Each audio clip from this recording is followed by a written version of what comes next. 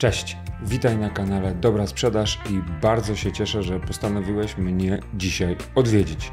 Dzisiaj chcę, żebyśmy zajęli się jednym bardzo ważnym tematem, który został zapoczątkowany w 125 odcinku podcastu Dobra Sprzedaż. Jeśli jeszcze go nie słuchałeś, to zapraszam koniecznie do odsłuchania na platformie Spotify i na platformie podcasty.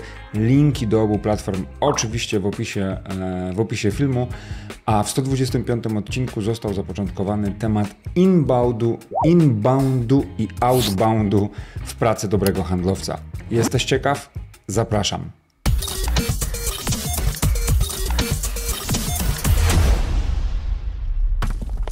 Inbound i outbound. Dwa pojęcia, które zazwyczaj kojarzone są tylko i wyłącznie z działaniami marketingowymi. Nawiasem mówiąc, inbound jeszcze jako słowo jest ok, ale outbound spróbuj powtórzyć kilka, kilka razy szybko outbound. Outbound, outbound, outbound, outbound, out, out. Można naprawdę nieźle połamać sobie, e, połamać sobie język. A w skrócie Inbound i outbound to dwa rodzaje działań, które ty jako handlowiec możesz podejmować lub które twoja firma może podejmować po to, żeby pozyskiwać klientów. I zazwyczaj jest tak, że marketing zajmuje się inboundem, a dobrych, a handlowiec powinien zajmować się outboundem. Jednak czy tak faktycznie powinno być? To od razu zapowiadam, że dokładną odpowiedź na to pytanie poznasz w kolejnym odcinku na YouTubie, a dzisiaj przybliżamy nieco oba te pojęcia. W skrócie, inbound to działania, które mają na celu doprowadzenie do sytuacji, w której klient sam do ciebie przychodzi.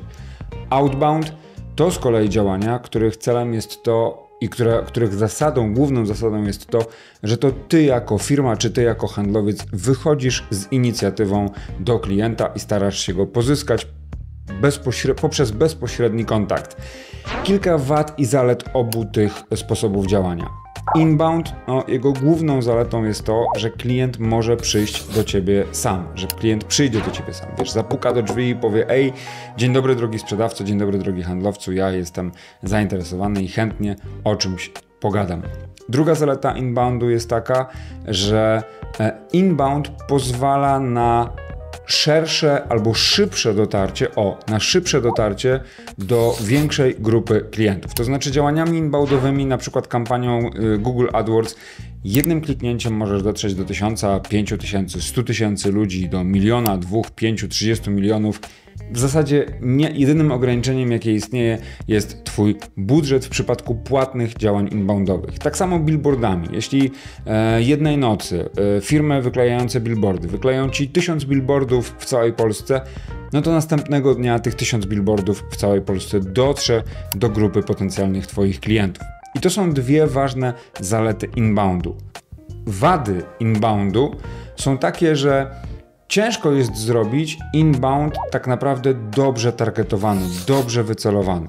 To znaczy, wiadomo, Google AdWords, na Facebooku, w AdWordsach, w wielu różnych miejscach są możliwości targetowania grup docelowych. Jednocześnie, ze względu na przykład na przepisy o ochronie danych osobowych czy przepisy o e, zachowaniu równości praw człowieka, w wielu przypadkach bardzo mocno ograniczają możliwości targetowania lub pojawia się bardzo duże ryzyko, że z tym targetowaniem po prostu przestrzelisz, gdzieś się pomylisz, ustawisz błędne kryteria i kampania dotrze nie tam, gdzie powinna. Druga słaba strona inboundu jest taka, że jest po prostu drogi. Lub, jeszcze jedna bardzo ważna sprawa, potrafi być długotrwały i zająć naprawdę sporo czasu. Czytaj pozycjonowanie artykułów blogowych i zbudowanie strategii kontentowej w oparciu o narzędzie, o strategię, jaką jest e, SEO, czyli o tak zwane pozycjonowanie organiczne, sytuację, w której ktoś wpisuje sobie Twoją frazę kluczową z Google'a i odnajduje Twój artykuł nie jako reklamę, nie jako artykuł sponsorowany, tylko po prostu jako artykuł na pierwszej stronie Google'a. To jest drogie i zajmuje sporo czasu. Czyli podsumowując inbound, działania zmierzające do tego, żeby klient przyszedł do ciebie sam. Zaleta po pierwsze, to, że klient sam do ciebie przychodzi, po drugie, e, to, że w jednym momencie może objąć naprawdę bardzo dużą liczbę ludzi. Wady w skrócie jest drogi, jest czasochłonny i może się tak wydarzyć, że w ramach targetowania po prostu trochę przestrzelisz, czego oczywiście nie życzę. Outbound czyli działania, które polegają na tym, że to ty jako handlowiec aktywnie podejmujesz działania i aktywnie wychodzisz do klienta. Tu są cold call, tu są cold maile, tu są wiadomości na LinkedInie, tu są wiadomości na Instagramie, na TikToku, cała masa działań, które ty jako handlowiec możesz podejmować, żeby bezpośrednio postarać się dotrzeć do klienta. Zalety tego rozwiązania. Pierwsza zaleta jest taka, że outbound może być dużo bardziej precyzyjny, jeżeli chodzi o celowość podejmowanych działań. Oczywiście, jeżeli jako firma kupisz bazę e, klientów i ta baza będzie niskiej jakości, albo jeżeli jako handlowiec e, stwierdzisz, że jedynym Twoim takim weryfikatorem, czy jedynym filtrem jest to, żeby e, firma była, nie wiem, na liście panoramy firm w danej branży, no to rzeczywiście ten outbound będzie mało celowany i może być przestrzelony tak samo jak na przykład inbound. Jednocześnie w przypadku outboundu tych kryteriów, e, które możesz wyznaczyć sobie jako kryterium doboru właściwego klienta jest znacznie więcej, a to oznacza, że masz możliwość znacznie bardziej precyzyjnego wycelowania w klienta, który Cię interesuje. Druga zaleta outboundu, potężna zaleta outboundu jest taka, że komunikacja w outboundzie może być dużo bardziej spersonalizowana i bardziej dostosowana stricte pod tego jednego klienta. Kiedy w inboundzie robisz kampanię, która ma dotrzeć do 5000 ludzi, nie ma możliwości, żebyś zbudował 5000 osobnych komunikatów. Kiedy jednak w outboundzie masz zespół 100 handlowców i każdy z nich otrzyma 50 klientów i każdy z tych klientów będzie miał otrzymać indywidualny komunikat dopasowany stricte do niego i dasz ludziom na to 3 dni, to to jest możliwe do zrobienia. Każdy z tych klientów może otrzymać indywidualny, prosto dla niego przygotowany komunikat. I to jest olbrzymia zaleta działań outboundowych. Kolejna zaleta działań outbound, outboundowych jest y, taka, że obok tego, że są precyzyjne, obok tego, że mogą być person personalizowane, dają znacznie większe szanse na szybki rezultat. To znaczy, kiedy robisz kampanię na Facebooku lub gdziekolwiek indziej, no to jasne, może się wydarzyć i taki jest tego cel, żeby klient przesłał jakiegoś lida i tak dalej. Jednocześnie, kiedy zadzwonisz do klienta albo kiedy wejdziesz do niego, do tego klienta, to masz duże prawdopodobieństwo, że możesz stamtąd wyjść z kontraktem. I czwarta, bardzo ważna zaleta outboundu jest taka, że na outbound masz znacznie większy wpływ ty jako handlowiec.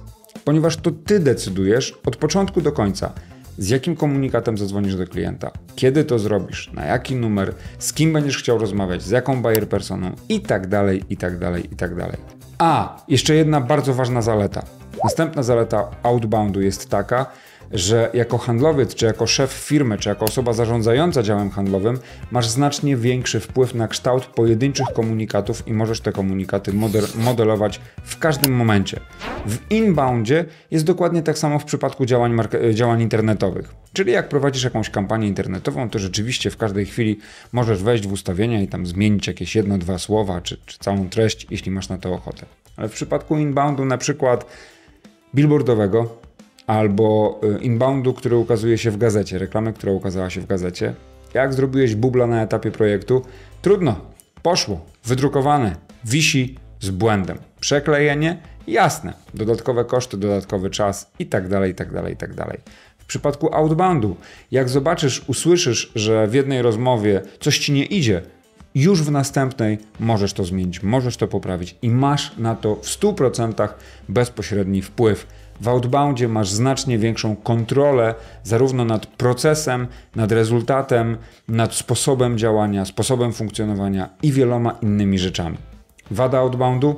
Wada outboundu jest taka, że w jednym momencie outbound może być skierowany albo do jednej osoby, albo maksymalnie do liczby osób równej liczbie e, ludzi zatrudnionych w dziale handlowym. To znaczy, w jednym momencie u jednego klienta czy z jednym klientem może rozmawiać jedna osoba.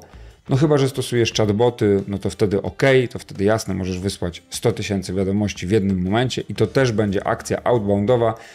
Jednocześnie trochę sztuczna, no ale też zaliczy się do, też zaliczy się do outboundu. Tak czy inaczej, e, nawet jeśli wyślesz wiadomości botem, to potem człowiek będzie musiał je obsłużyć i znowu człowiek może obsłużyć jednego klienta w jednym momencie. I to jest chyba najpoważniejsza wada działań outboundowych. Co ja rekomenduję dla Ciebie jako dla handlowca, podsumowując te dwie rzeczy? Wydawać by się mogło po pierwszej części tego wideo, że moja rekomendacja będzie bardzo prosta: idź w outbound. rób cold call, rób cold maile, bo na to masz wpływ i tak dalej, i tak dalej. Nie, absolutnie nie.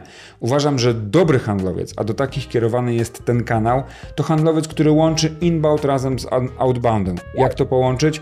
No na przykład współpracując ściśle z działem marketingu albo prowadząc własnego bloga, czy prowadząc e, swój profil na LinkedInie, gdzie dzielisz się merytoryczną wiedzą i budujesz swoją markę osobistą, inboundową markę osobistą, zachęcając Twoich potencjalnych klientów, którzy są na LinkedInie do tego, żeby sami do Ciebie przyszli, a do tego wykonujesz cały czas działania outboundowe, na które masz znacznie większy wpływ, które są w pełni pod Twoją kontrolą i które pozwalają Ci osiągnąć znacznie szybszy rezultat.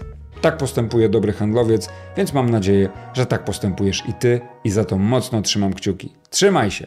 Cześć!